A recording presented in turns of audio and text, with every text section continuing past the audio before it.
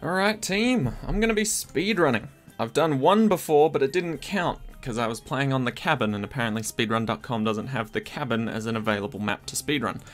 So, until that comes out and I can drop a quick first place in there, let's do Frozen Over. I like the sounds of that. Frozen Over Easy Standard. Right, a good thing about speedruns in this game is that they don't actually start until you hit start on the actual first round. So we're going to put Sauda straight up in the balloon's face, right around here. We're going to put our Dart Monkey right behind her, around there. So Sauda's got camo detection, Dart Monkey will have camo detection when we upgrade it, and then my final tower is going to be a recursive cluster. Alright. Starts the second I start the match. So, three, two, one, go. Okay, okay. I do have auto start on, I'm pretty sure. Okay, good. Last time I really fucked up a speed run in this was because I didn't have auto start on at the very beginning. Okay, but we're good now, we're good now. So Sauda's already got camo detection just from being Sauda. The bomb is literally the only only reason it's here is for popping leads.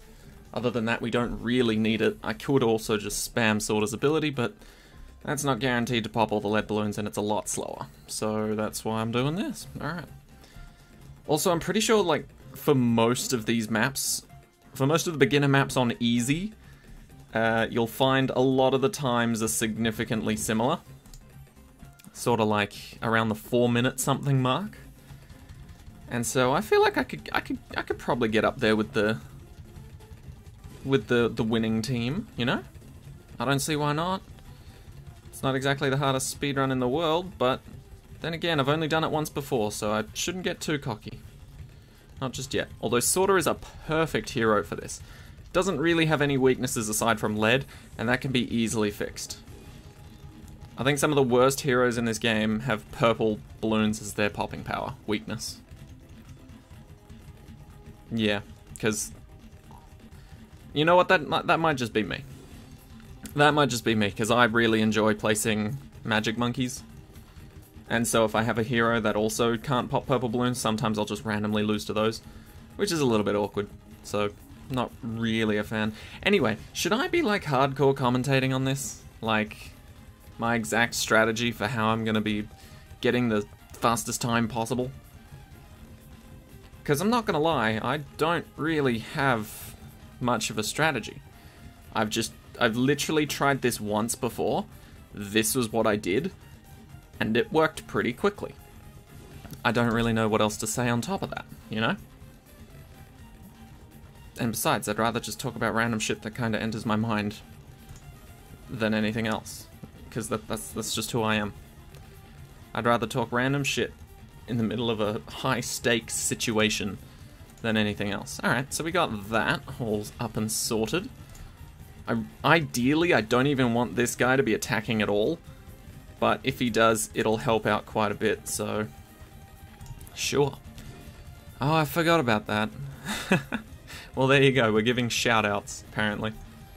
Hell, while I'm at it, I may as well place my factory and banana farm. We'll see, we'll see.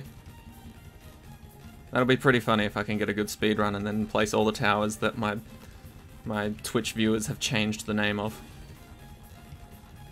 Okay, three minutes down. We're almost at round 30. That's pretty good. Pretty solid.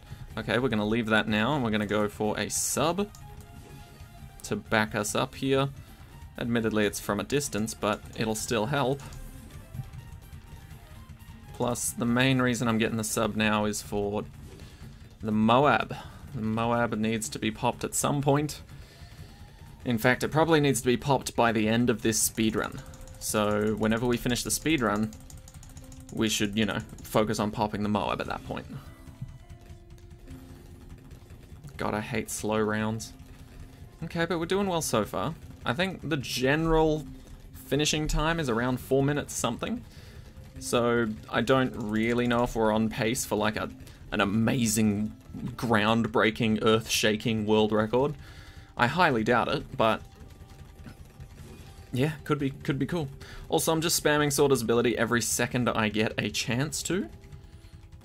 Just because I figure if she has the opportunity to use it, may as well. Alright, and boom. There we go. And now I guess I'll just place some extra things to help. Come on. There we go. Shout out. and then last one. There you go. For my homies. Ah, good shit. Good shit, team. Oh! I completely forgot that it was round 40. And so I was a bit slow on hitting the timer there. But there you go. 4 minutes, 45 seconds, and 17 milliseconds. That's pretty damn good. That's pretty damn good, I think. Anyway, thanks for watching. See you on the next one.